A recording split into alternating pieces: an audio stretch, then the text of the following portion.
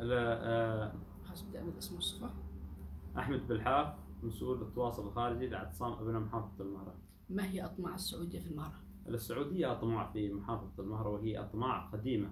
ومن هي ترغب بأن تكون لها إطلالة على البحر العربي فمنذ نوفمبر 2017 قدمت بقواتها واحتلت هذه المحافظة وأحكمت السيطرة عليها من خلال بناء ما يقارب 33 معسكر إضافة إلى قاعدة عسكرية كبيرة في مطار الغيضة وأيضا للسعودية أطماع اقتصادية من خلال ما تروج له أنها ترغب بمد أنبوب نفطي إلى البحر العربي وأيضا ترغب بأن تكون محافظة المهرة ساحة لانطلاق عملياتها العسكرية وإشراف على المرات الدولية الهامة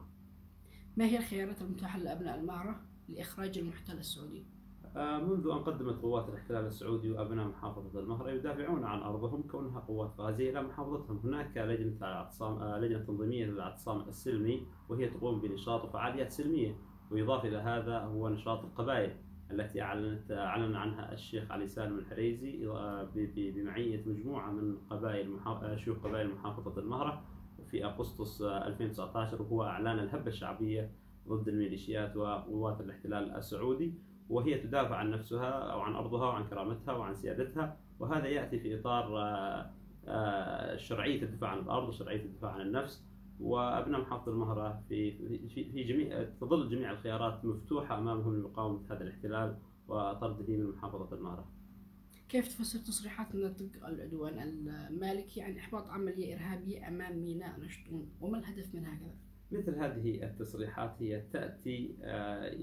في- استقلال من جانب القوات السعودية أو قيادة التحالف ال- ال- ما يسمى التحالف العربي والتحالف الإماراتي السعودي آه، هو استقلال هذه العمليات والصاق تهمه الإرهاب بمحافظة المهرة، الهدف منها هو خلق مبررات لبقاء قوات الاحتلال في محافظة المهرة. لو آه، نظرنا إلى إلى مثل هذه العمليات ربما أحيانا قد تكون صحيحة لكن ما الأسباب؟ هو محاربة مؤسسات الدولة الشرعية، محاربة ال- ال- المجتمع ووجود فراغ في الجانب الأمني والعسكري بسبب تواجد هذه القوات ومحاربتها وانشاء ميليشيات خارج إطار مؤسسات الدولة وهذا بطبيعة الحال ينتج عنه وجود عصابات، وجود جماعات إرهابية، جماعات متطرفة، وهذه نتائجه ونحن نستنكر أي عمليات إرهابية في محافظة المهرة ونحمل قوات الاحتلال السعودي الوصول بمحافظة المهرة إلى هذه هذا المنحى وهذا الجانب.